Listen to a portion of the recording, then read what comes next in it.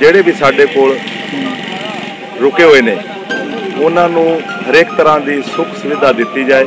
ਉਹਨਾਂ ਨੂੰ ਕਿਸੇ ਤਰ੍ਹਾਂ ਦੀ ਕੋਈ ਦਿੱਕਤ ਨਹੀਂ ਹੋਣੀ ਚਾਹੀਦੀ। ਦੇਖੋ ਇਹ ਸੇਵਾ ਮਿਲੀ ਹੈ। ਉਹ ਸਾਨੂੰ ਮਾਲਕ ਨੇ ਸੇਵਾ ਦਿੱਤੀ ਔਰ ਸਾਨੂੰ ਹੱਥ ਜੋੜ ਕੇ ਇਹਨਾਂ ਅਗੇ ਸੇਵਾ ਕਰਨੀ ਚਾਹੀਦੀ ਹੈ। ਜੋ ਚੀਜ਼ ਦੀ ਮੰਗਣਗੇ ਉਹ ਅਸੀਂ ਦੇਣ ਨੂੰ ਤਿਆਰ ਆ ਔਰ ਸਾਡੇ ਮਾਲਕ ਦਾ ਬਾਬਾ ਜੀ ਦਾ ਸਾਨੂੰ ਇਹ ਸੰਦੇਸ਼ ਹੈ।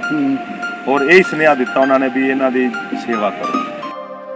ਸਾਧ ਸੰਗਤ ਜੀ राजकुमार तनेजा जी, जो कि राधा स्वामी सत्संग ब्यास से काफ़ी सालों से जुड़े हुए थे। बड़े दुख के साथ कहना पड़ रहा है कि वो अब हमारे बीच नहीं रहे। उन्होंने अपने अंतिम क्षण लोगों की सेवा में बिताए। संस्था की ओर से उनकी सेवा को देखते हुए ज़िले में अहम ज़िम्मेदारी दी गई थी। उनके करीबी बताते हैं कि राजकुमार 24 घंटे लोगों की सेवा में लगे रहते थे।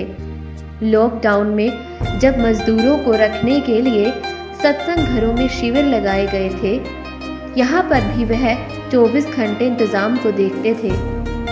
लॉकडाउन ही नहीं, वैसे भी वह लोगों की सेवा में लगे रहते थे, हमेशा खुश रहते थे। सभी से प्यार से बात करते थे। सेवादार राजकुमार तनेजा ज़्यादातर लोग इस नाम से ही उनको जानते होंगे।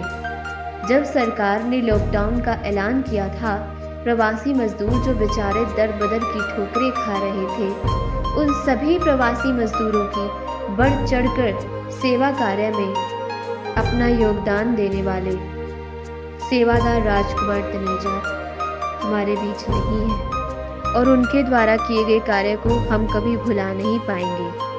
एक छोटी सी वीडियो सेवादार राजकुमार तनेजा जी को हम समर्पित कर रहे हैं। राधा स्वामी